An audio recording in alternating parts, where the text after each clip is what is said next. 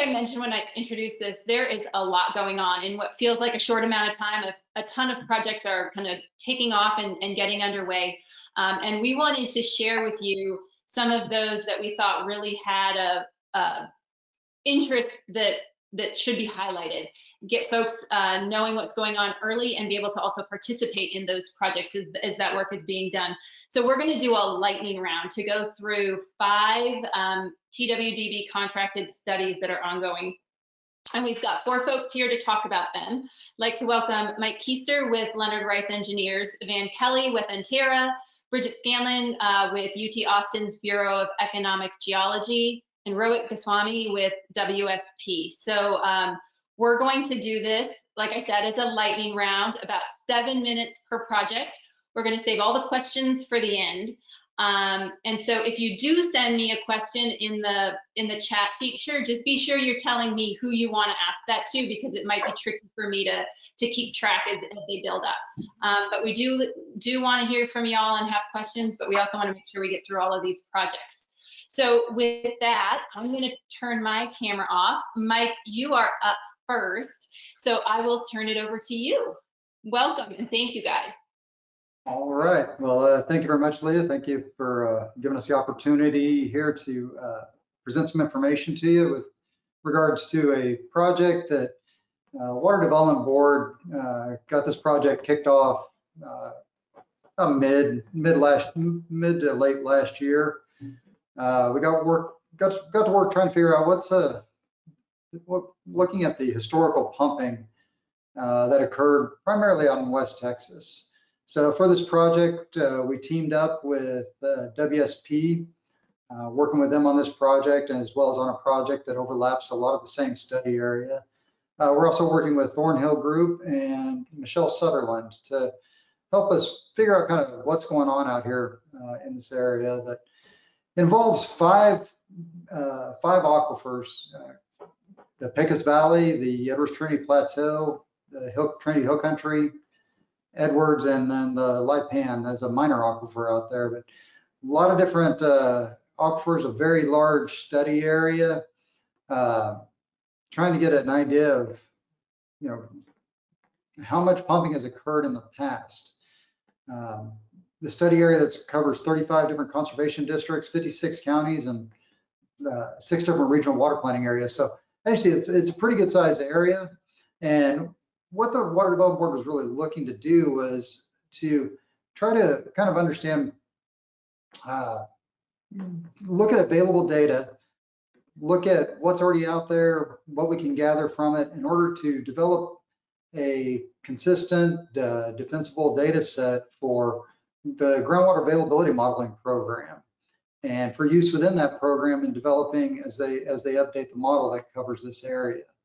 So uh, thank you for going the next slide there. Uh, the project's involved in really looking at broken down into three different phases. Uh, first of all, uh, Water Development Board asked us to take a look at, uh, or the, the GAMP group there, to take a look at the water use survey data uh, this day, this pro, first phase of the project involved trying to go out, collect a lot of data. Uh, I'm sure many of you saw the uh, stakeholder outreach that we did. Uh, appreciate uh, TAG for helping us uh, posting it on their website and helping us get the word out about the project. And then we used that data and really tried to look for any issues or anomalies that there might be within the water use survey data available from the Water Development Board and how and then with the second phase of the project going, okay, any, any of those anomalies we identified, how do we try to address those or make adjustments to develop this consistent data set uh, that can be used within the modeling program. Uh, that that second phase of the first phase of that project, it ended back in October of last year. Uh, we're about to wrap up the second phase of the project here uh, just in a few days. And then the next big phase of the project, which is going to take the most time, is really going in and uh, addressing those issues and then developing that pumping data set along with some tools that can be used, uh, potentially be used in other parts of the state to develop, the, uh, to apply really a, a, very consistent methodology towards developing these pumping data sets. So if we go ahead and go to the next slide, uh, you'll see that, yeah, there's really a lot, big part of that goal is developing that data set that's going to be as accurate as possible for uh, updating updating the GAMs within the study area. As you can see, there's several models out there that are covering this study area, uh, developed by the Water Development Board, developed by the USGS. And part of this project is really go, they're, they're looking to update this, the models for this whole area, understanding that pumping it can be a significant uh, factor in both uncertainty, but also in how it affects the aquifer and the calibration of the model. Uh, one of my cohorts on the panel here, uh, Mr. Kelly actually pointed this out when they were doing the uh, update of the Northern Trinity Woodbine GAM. It was, they pointed out in there that, yeah, that's pumping can be an issue for, for these models and need, we need to develop these data sets that are as accurate as possible.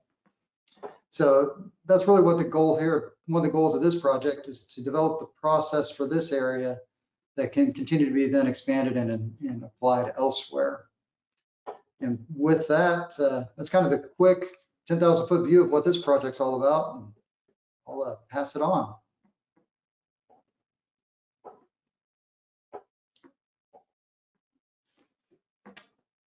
You're up next, Rohit.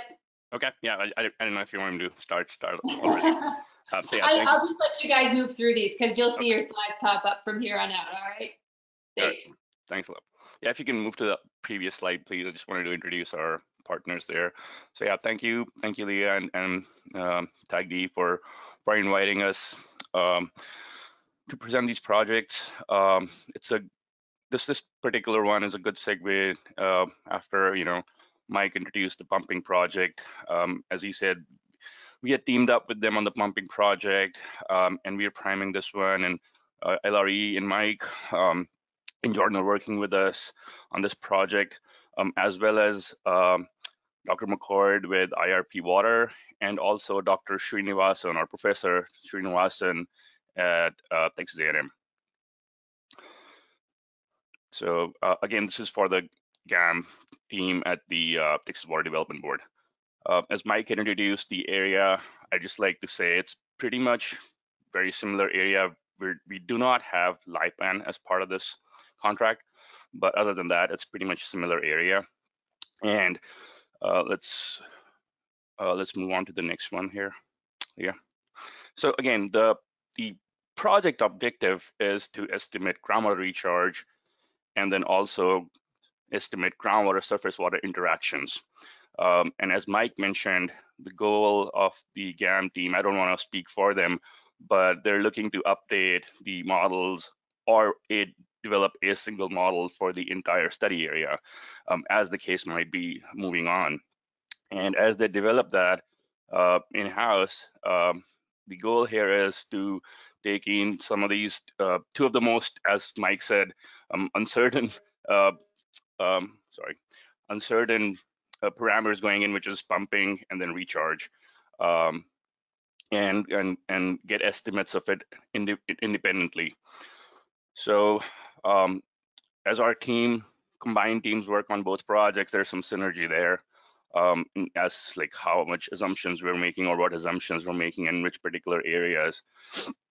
Uh, the technical approach here is to do detailed distributed hydrologic modeling and, and, and stream flow analysis.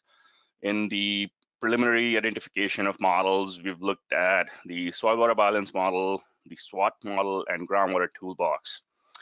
Um, and we're conducting um, preliminary model results from these particular models um, to uh, report to the GAM team and for the internal review. Uh, please go on. So our next steps are going to be as we keep modeling, we calibrate to the available data. Um, and also we compare the model results to sort of come up with um, an estimated range of what recharge estimates could be and also what groundwater surface water interactions could be. Um, the overall um, sort of our internal goal is to develop for each particular area or region that we identify um, or watershed that we identify, uh, we can estimate um, at least um, multiple um, recharge estimates so we can compare them. please keep going. So that's our sort of overall workflow. I don't want to go too much into technical details of it, so just wanted to keep it sort of bird's eye view. So we start with our objective, go in and define model, we input the data, uh, do model selection, calibration, uh, look at what the calibration decision is, and we keep repeating that until we get um, um, our um, um acceptable model results. And then we uh, do a comparative analysis and present those results. Keep going. The project timeline is that our final report um, is expected to be ready by the end of the year. And that's when the stakeholder meetings are expected to be held. Uh, Texas Water Development Board um, will will uh, and, and, and the GAM staff will uh, reach out to them and um, um, communicate when these stakeholder meetings um, are ready or when the draft deliverables are ready to be communicated out. Uh, the, the, for more information, you can contact uh, Cindy, who's Cindy Ridgeway, who's the manager of the GAM team at Texas Water Development Board, or Mr. Robert Bradley, who's the contract manager for Texas Water Development Board, um, and also part of the groundwater staff there. Or you can contact myself. I'm the project manager for this particular work, and my contact information and phone number is there. Thank you.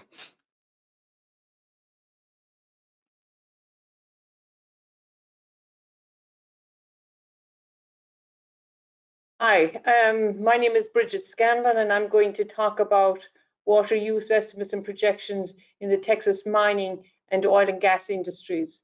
Um, this project was initiated in December 2020 and is projected to be completed by March 2022.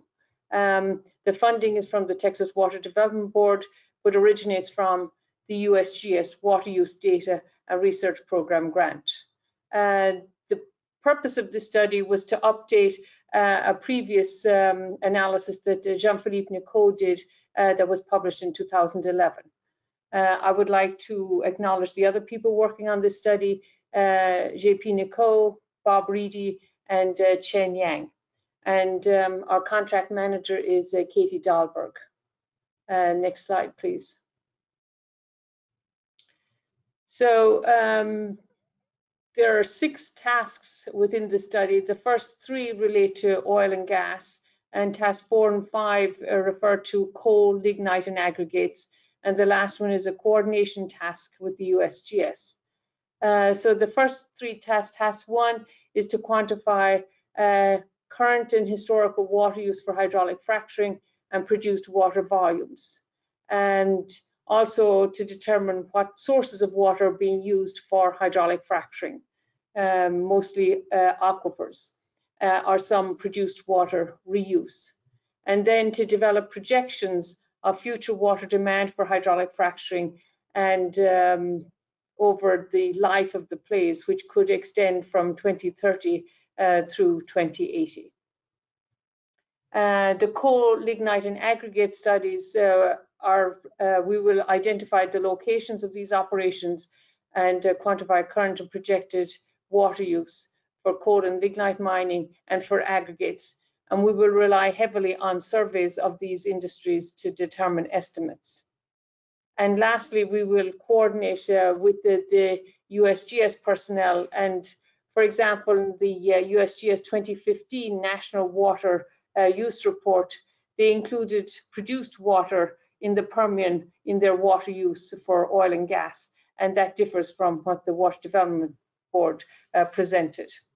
So I'm going to talk a little bit about a couple of the tasks, um, but not all of them. So task one, uh, quantifying current and historical water use for hydraulic fracturing and produced water volumes. So the data sources for hydraulic fracturing water use include a FracFocus database and the IHS database. And we'll cover approximately the past 10 years, 2009 through 2020. And uh, the major unconventional oil and gas plays in Texas include the Permian, Eagle Ford, Barnett, and Haynesville. And uh, one of the aspects of water use is how much produced water is reused for hydraulic fracturing, and there are no uh, explicit reporting of that. And so we will survey oil and gas operators to determine how much reuse of produced water is occurring. Um, for example, in 2018, uh, in the Permian Basin, they drilled about 1,200 wells uh, for high, uh, to source water for hydraulic fracturing in the Ogallala. Just gives you an idea. Uh, and the average water use was about 17.5 million gallons per well.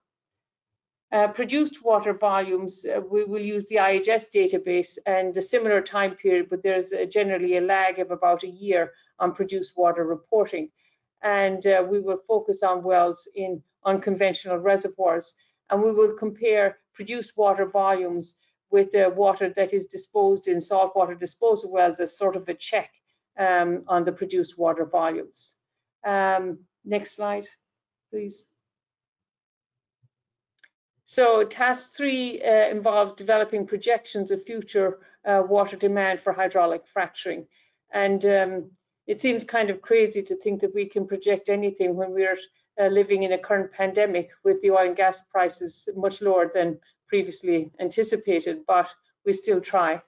Um, so we will determine um, well inventory in each of the unconventional plays, and we assume technically recoverable resources.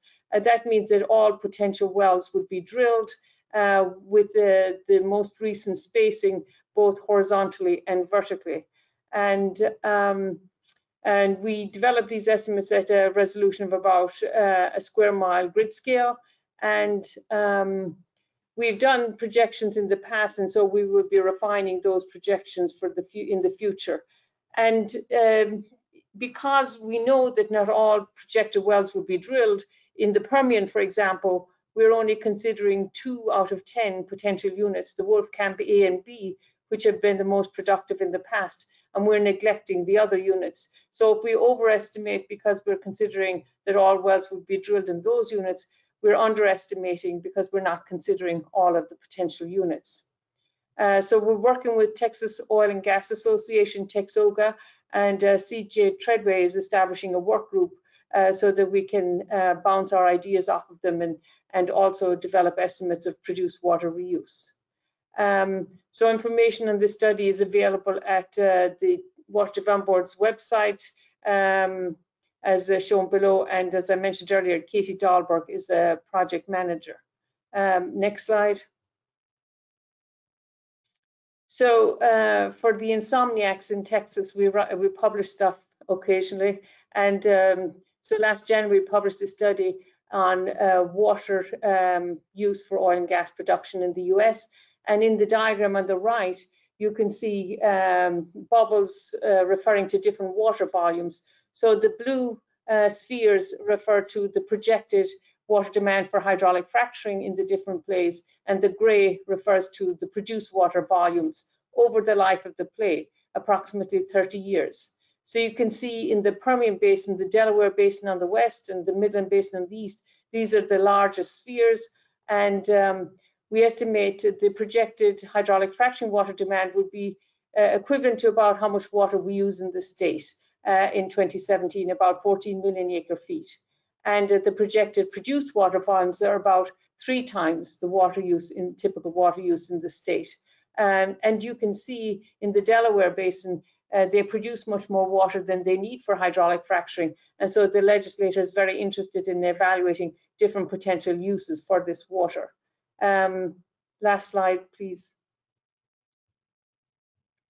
So another uh, study, we evaluated uh, potential uses of uh, treated uh, produced water uh, in the US and looked at uh, irrigation and discharge to surface water. And, and um, there are many studies, there are some studies going on at the moment, particularly in New Mexico, evaluating treatment technologies, economics, to treat the produced water to, for example, discharge to the Pecos River or to use in irrigated agriculture.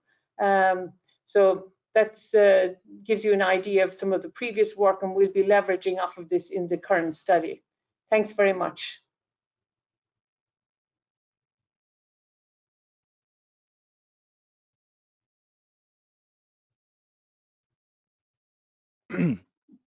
so um, again, I'm, I'm Rohit Goswami with WSP, And this project um, is about delineating areas designated or used for class two wastewater injectate.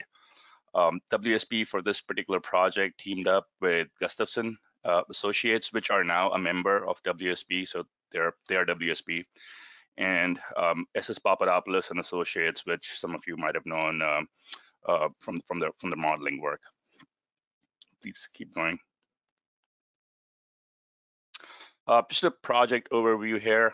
Um, so the way this project came to being, and again, I don't want to speak for Texas Water Development Board, just a little bit of background though, is uh, there was a legislative mandate to uh, designate brackish groundwater production zones.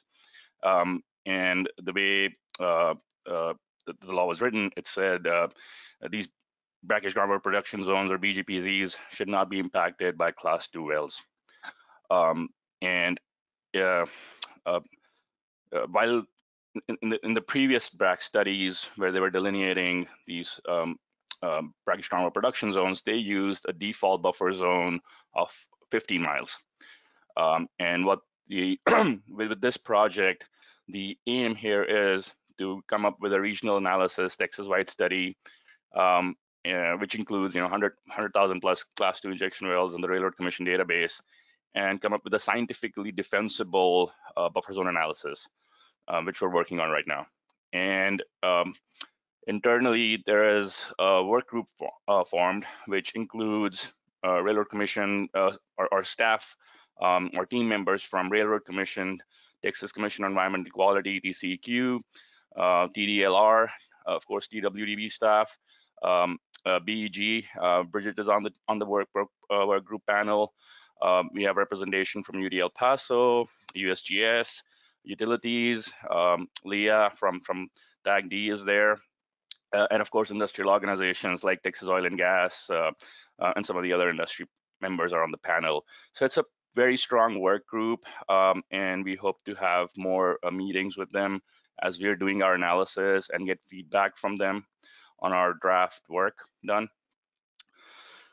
Um, so um, and this is just a preliminary sketch of like uh, you know uh, where which which are the primarily uh, identified aquifers where this analysis is to be done. And uh, those little black dots there are the uh, class 2 injection wells that we know about from the railroad commission database.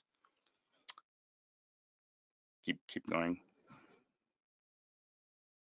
um, so this is just sort of a uh, overview. So as we do this analysis, there there are certain aquifers that have been identified, but there really are no class two injection wells that are in those aquifers that we see.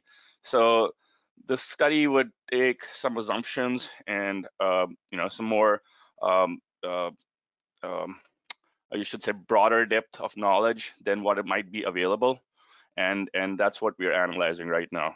Keep going. And then in certain other areas like you know the Dockum, we have a lot of data in the southern part, but we really don't have much on the northern section. So again, we'll have to go off of some assumptions while we're doing these analyses and um, expect uh, some feedback from our work group panel uh, on how to approach. Please keep going. Um, again, the project timeline, we expect the report to be finalized and available by fall 2021. So really not not much of a, not much of time left within this year to complete the study. And um, we can contact uh, Eric Mancha, who's the manager for uh, the Innovative Water Technologies Group, uh, which is sort of the, which also encompasses the BRACS team. Um, and um, Juan Acevedo, he's our contract manager uh, within the BRACS team staff or myself. I'm the project manager uh, for this um, for this work, and my contact details are available there. Thank you.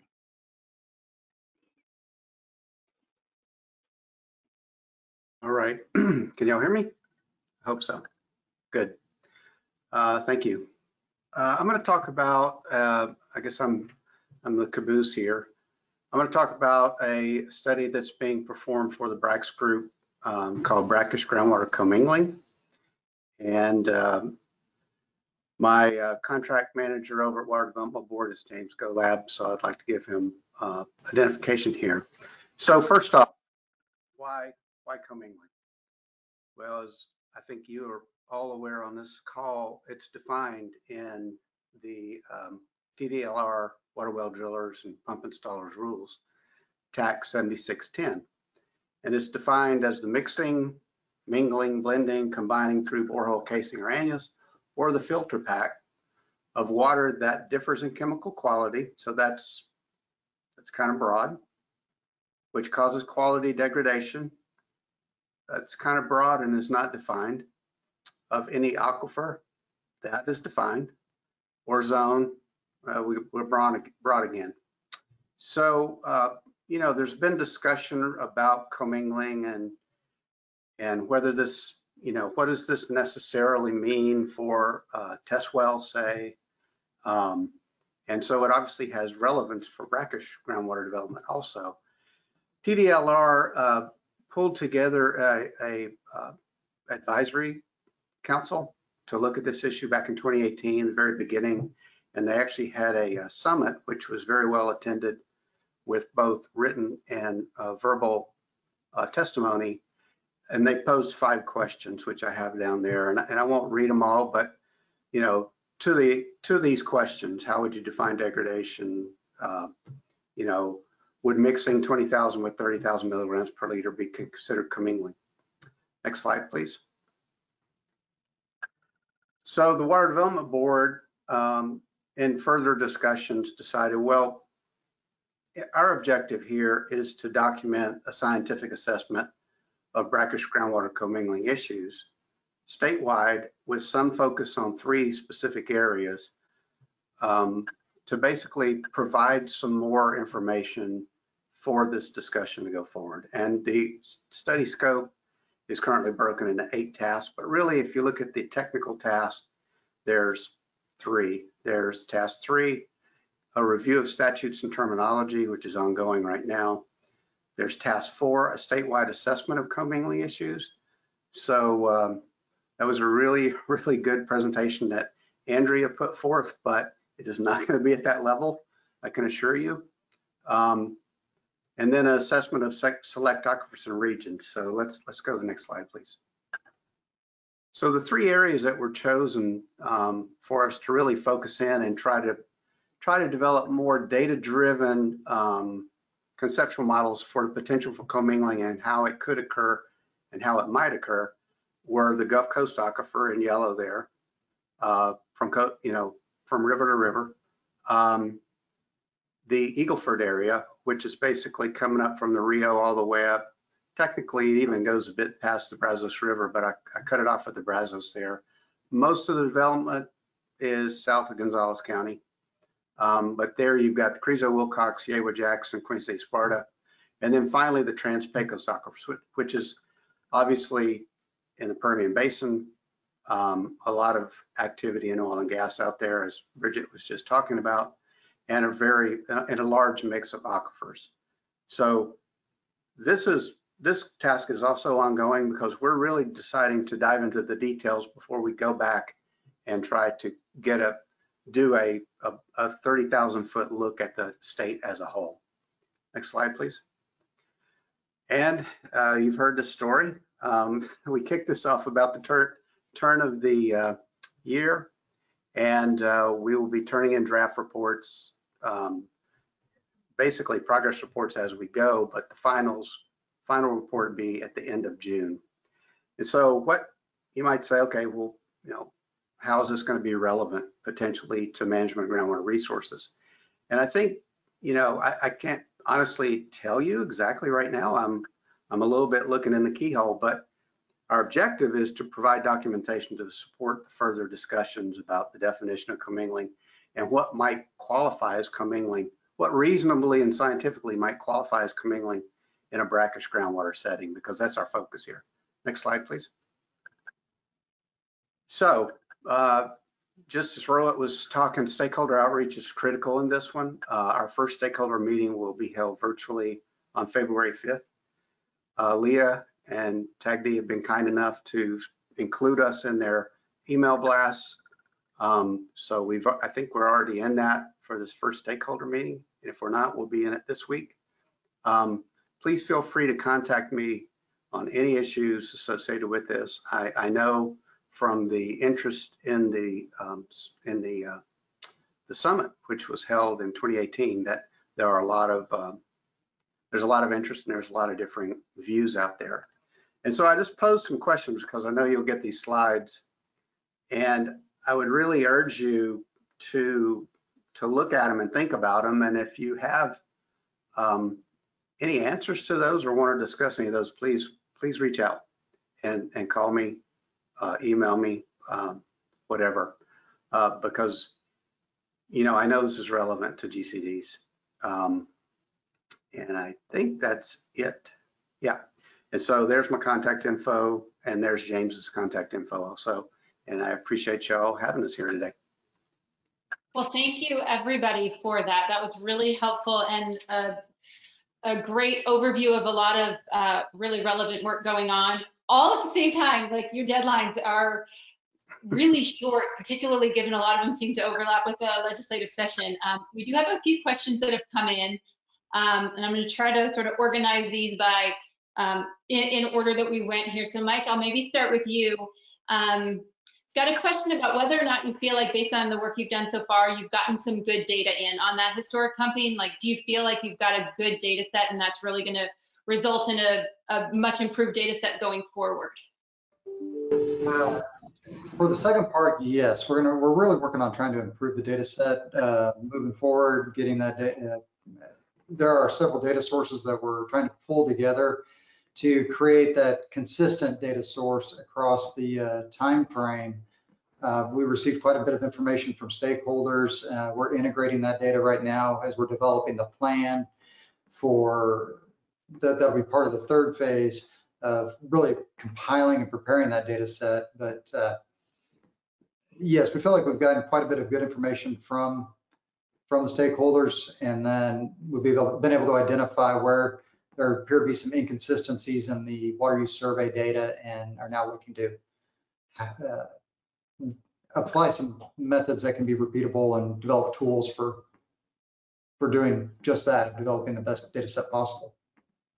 Hmm And then kind of following up on that, um, someone asked whether or not you had a sense yet about the magnitude and revisions to pumping estimates you might see.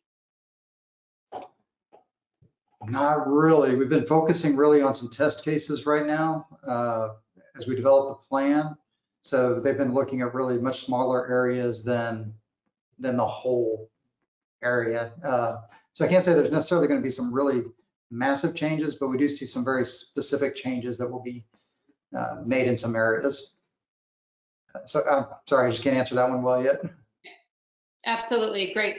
And then this one is kind of, I think, maybe goes to both Mike and Rohit at the same time with the um, overlapping study areas, whether or not that was intentional. Um, and were, are these projects kind of working in tandem for a reason?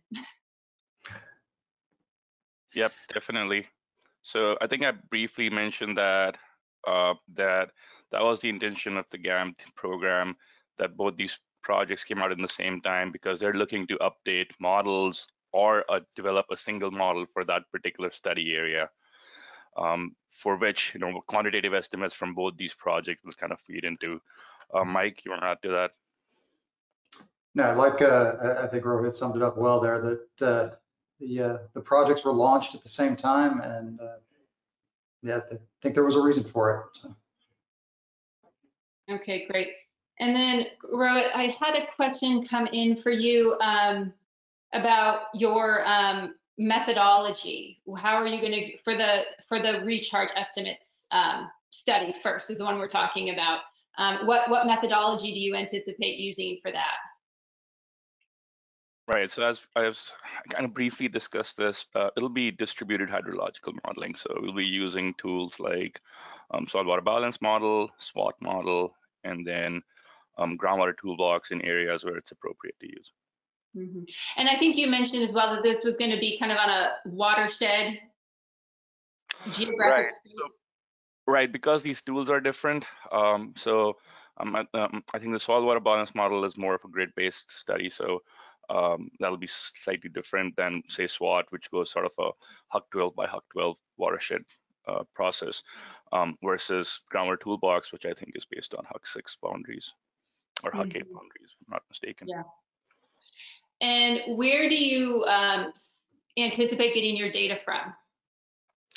That's a good that's a good question. We've been collecting a lot of data from wherever it's available. So um, a lot of the stream flow uh, data comes, of course, from USGS. Um, a lot of the climate data we're getting it from different sources.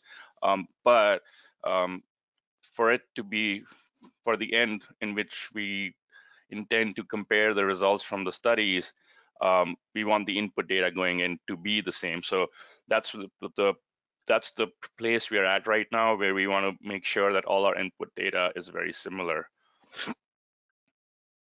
And uh, for and and then we're also looking into and this is not uh, this is not kind of final yet but we'll also look at whatever remote sensing data is available for comparison purposes Okay, great. Um, and then I'm just kind of keeping an eye on the time and because I want to hit at least a couple questions on each of the different studies. So Bridget, I was going to move on to the mining use study. Um, how how are the results of this, the outcome of your mining use survey? Um, do you anticipate them being used? Oh, you're muted. Um, so for uh, water use uh, data for planning purposes, uh, it should give uh, people an idea of how much water might be used for hydraulic fracturing in the future and how that compares with the managed available groundwater and uh, whether they need to figure out more sources of water. And also we'll be looking at trends in produced water reuse and so and that would decrease uh, water demand. So and looking at these things spatially and temporally. Mm-hmm. And then I know you mentioned some of the sources from which you are going to be getting your um, historic data. Are you going to be reaching out to groundwater districts to see if they've got pumping data that you would incorporate as well? Um, yes, um, so I mean, we will be using the TDLR data to figure out what wells are used for uh, rig and frac supply and stuff, and then we'll compare those depths with the uh, GAMS to determine which aquifers they're tapping into. Uh, we have pretty good data from FracFocus on how much water is used for hydraulic fracturing, but we certainly will be connecting with the, the GCDs to, um, you know, check what we're finding and, and to get more uh, greater insights into what's going on. Mm-hmm. And then I'll just, I, I, know you did touch on this, but there a question did come in. I think it's worth kind of reiterating is the role that um, economics um, play in in trying to do this sort of projecting in terms of, of mining use and what you're doing to build into your survey um, a way to account for that, or if you are able to do that at all. Well, we have um, we've done that in the past with the low and high price scenarios and stuff, but we never hit the rock bottom that we saw this year. so we never projected it to go that low. Um, so I, I, don't think in this study that we will have enough uh, flexibility to uh, incorporate economics, uh, but uh, we have done it for some plays in the past um, to understand uh, how sensitive the results are to different price scenarios. Okay, great, thanks. And then Rohit, back to you in the in the um, buffer zones for the um, for the brackish groundwater production zones. Um, I got a question here about your stakeholder, um, the work group, and whether or not that was open to new people participating. That's probably a question for for BRACS staff. Um, so they should really reach out to um, Erica Arwan. Um, yeah, we we they are the ones who kind of put together the work group, so that's kind of on their side. Okay, great. And that contact information for those of you out there that might be interested, we'll be we'll, we'll have these presentations posted um, with that contact information as well as these recordings, so that that will be available. Uh, another question came in about um, what you kind of, if you had at all a vision of what you might be recommending in terms of changes to that buffer zone. Yeah, we're we're not there yet. Uh, we're we're very early in the study uh, right now, uh, so we're going aquifer by aquifer. Um, and right now, I mean, we've not even finalized what kind of modeling approach we're going to take. So again, that's that's something we'll discuss with the work group, and we'll take their feedback on that. Mhm. But it, won't be a default, like, you know, like, it would, it would not be like a 15 mile thing. I mean, it'll be I think that was the point. Like, is it going to be more nuanced than that, or Yes. site specific, aquifer specific, or are we just going to change it from 15 to 12? Um, no, no, yeah, it's, it's gonna be aquifer specific for the most part. Uh, that's our intention for sure. Hmm hmm And to make that change, is there a change to statute needed, or or is that something that that can be done without going to the legislature for those buffer zones? Yeah, that, I- I'm, I'm not comfortable addressing legal questions. Sounds good. So on that note, actually, maybe that's a perfect segue, Van, into yours. A a question came in about, um, it sounds like you could use some lawyers on your team um, when you're reviewing the statutes on, on commingling. Yeah, I could. And so if anyone needs to get their free credits, they can contact me and I'll, uh, I'll bring them on board right away. But yeah, it's, uh, yeah, it, it admittingly, I mean, it's, uh, that's why the reviewing the, uh, the administrative code and the statutes was step one. Where am I? Mm-hmm, mm-hmm. And, and I think there's a, a question came in that was, that was pretty specific. I'm gonna kind of ask a bigger one and then mention this one is, you know, Okay.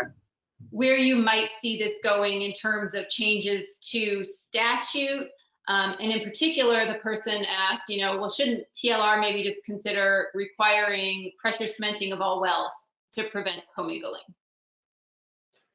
Well, I mean, so it is not going to make recommend, um, it will discuss the scientific basis of what would be a reasonable consideration of commingling if you were talking about a brackish well. It's not gonna, you know, go much further afield. I think the, the question is though, uh, there's a lot of interpretation in the definition as it sits. And so that's what we're trying to to put some understanding around, you know, how, what is the potential for this to be occurring? How frequent would this be? And then from a brackish perspective, you know, and, and, and, and at what point should that be worried? I don't think there's any question on anyone's mind, should we protect freshwater? That's right, we should. And in fact, it's consistently required across all statutes. Um, so it becomes this question of um, differing water quality um, and degradation. And so there's various opinions that should be tied to water use, that should be, um, there- there's, there are various opinions that have already been stated. So that's what we're hoping to uh, build the scientific basis, like look at the data, both in detail and a bit more of a regional survey approach to say, yeah, you know, this this this likely is an issue, could be an issue in these aquifers, and here's some evidence for where it would be occurring. So, what would be a what would be a logical way to uh, consider this from the brackish groundwater development perspective? So, so to go back to it, should we pressure grade all wells? Yeah, I think we should properly um, complete wells in all cases. Um, it, then the question becomes, what is commingling? That that doesn't still get to answer that question. And that's where we're trying to dive a little deeper into that. And we will Okay. talk about well completion standards also. We're reviewing those. Okay, all right, wonderful. Well, thank you all. We are out of time, but I want to appreciate you all participating, sharing information on these projects.